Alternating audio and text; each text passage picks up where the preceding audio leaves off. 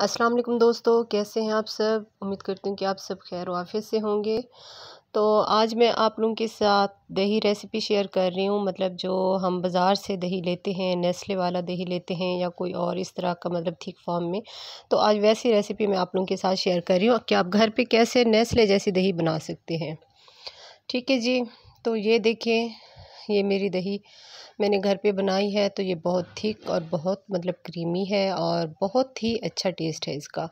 आप इस तरह से बनाएँगे तो यकीनन आप लोगों को भी इसकी रेसिपी अच्छी लगेगी और आप इसी तरह से हमेशा बनाएँगे दही को। ये देखें, ये इस तरह पानी बिल्कुल भी नहीं है इसमें।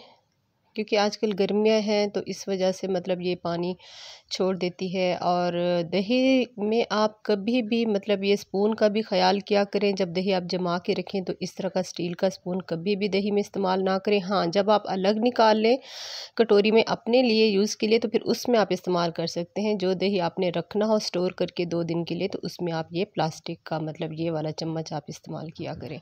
तो इससे फिर ये दही पानी नहीं छोड़ती है। ठीक है? इस तरह से। ये देखें बिल्कुल भी पानी नहीं है और बहुत मज़े की, बहुत ही मतलब ठीक फार्म में ये दही बनी है। अगर आप लोगों ने मेरे चैनल को सब्सक्राइब नहीं किया है तो प्लीज़ सब्सक्राइब कर दीजिए और अगर आप लोगों को रेसिपी अच्छी लगी तो लाइक और शेयर भी कर दिया करें, ठीक है जी? ये देखें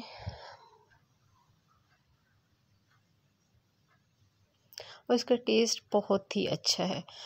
चलें जी, अब इसको बनाना शुरू करते हैं। आप ज़्यादा लंबी हो जाएगी ये मेरी रेसिपी। तो इसके लिए हमें जिन चीज़ों की ज़रूरत है वो ये है।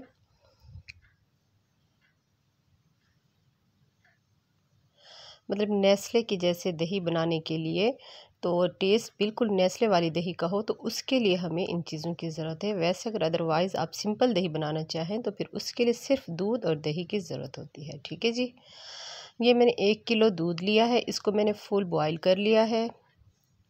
एक दो बॉयल आने तक मैंने इसको बॉयल किया है। ये है जी नमक।